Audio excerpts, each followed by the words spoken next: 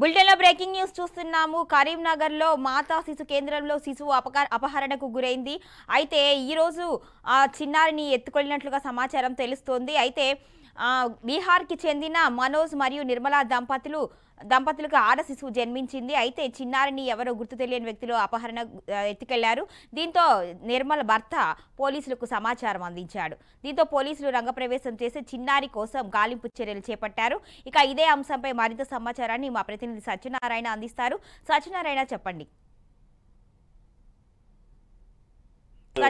శిశు సంక్షేమ హాస్పిటల్లో మాత్రం మూడు రోజుల శిశువు కిడ్నాప్ కలకలం అయితే రేపిందని కూడా చెప్పుకోవచ్చు. జిల్లా కేంద్రంలోని మాతా శిశు కేంద్రంలో మూడు రోజుల క్రితం బావుపేటలో నివాసం ఉంటున్న వలస కూలీ ఆమెకు డెలివరీ అయింది. అయితే బీహార్కు చెందిన వీరు కరీంనగర్ సమీపంలోని బావుపేటలో నివాసం ఉంటున్నారు. అయితే డెలివరీ అయిన ఆమె భర్త భోజనం తన భర్త భోజనం తీసుకొచ్చేందుకు ఇంటికి వెళ్ళాడు. ఐసీయూలో ఉన్న బాలింత వద్ద ఉన్న తన అన్న కొడుకును ఉంచి వెళ్ళాడు. అయితే ఈ సమయంలో మూడు రోజుల పసికందును ఎత్తుకొని వచ్చిన ఆ బాలుడు ఎంసీహెచ్ ఎంట్రన్స్ వద్దకు తీసుకొని వచ్చి ఓ మహిళకు అప్పగించాడు.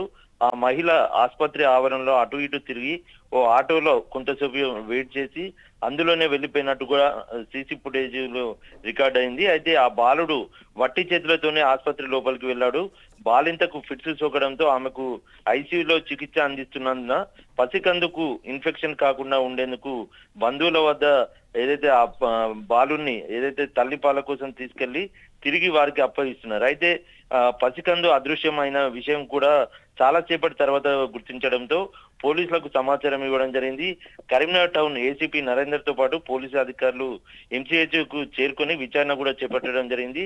అంతేకాకుండా దాని అక్కడ హాస్పిటల్కు సంబంధించిన సీసీ ఫుటేజ్ను పరిశీలించిన పోలీసు అధికారులు పసికందును చూసుకునేందుకు ఉన్న బాలుడే తీసుకెళ్ళి ఓ మహిళకు అప్పగించినట్టు కూడా గుర్తించారు. అయితే బాలింత మా బాలింత భర్త మాత్రం ఆ పిల్లవానికి ఏం తెలియదని ఎవరితో ఆయన వెళ్ళిపోయే వెళ్ళిపోయాడని చెప్పేసి కూడా చెప్తున్న పరిస్థితి. అలాంటప్పుడు ఆ బాలునికి మూడు రోజుల పసికందును చూసుకోమని అప్పగించి ఎలా వెళ్ళిపోయాడు అన్నది అంతు చిక్కకుండా ఉన్నది. అయితే కనీసం ఆసుపత్రిలో డ్యూటీలో ఉన్న వారికైనా ఈ సమాచారం ఇచ్చి తన భార్యకు వంట చేసుకొని తీసుకొస్తానని అప్పటి వరకు తన అన్న కొడుకు చూసుకుంటాడనే విషయాన్ని కూడా చెప్పి వెళ్ళాల్సి ఉంటుంది. అయితే తన భర్త మీద కూడా కొంత అనుమానం వస్తుంది. ఆ బాలుడు ఎవరికైనా ఇచ్చాడా? లేకపోతే వాళ్ళు భర్తనే గేమ్ ఆడుతుండా అనేది కూడా పోలీసులు ఆరా తీస్తున్నారు.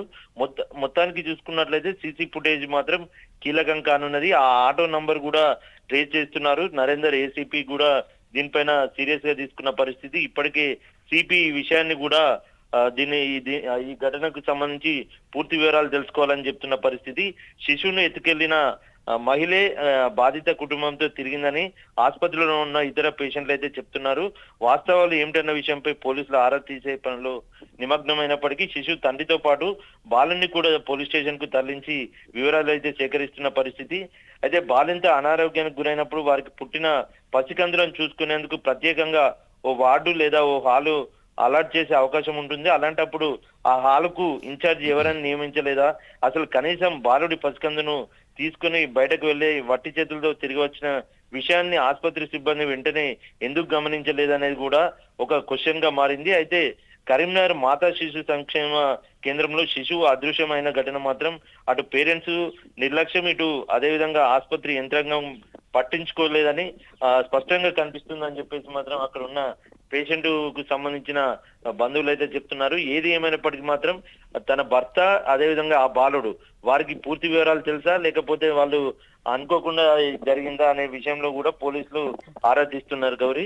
ఏది ఏమైనప్పటికీ కూడా త్వరలోనే ఆ బాలుని పట్టుకుంటామని చెప్పేసి. పోలీసులు చెప్తున్న పరిస్థితి. ఓకే. Thank you Satyanarayana.